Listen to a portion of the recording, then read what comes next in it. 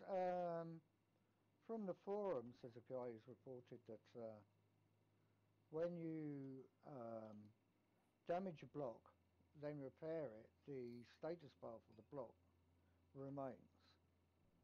So if we go and place a couple of wood frames, upgrade those, then upgraded them again, then damaged the block. So it says it's 211 of 225. Repair it, and now, no matter what you do, that particular block shows that it's 225 of 225.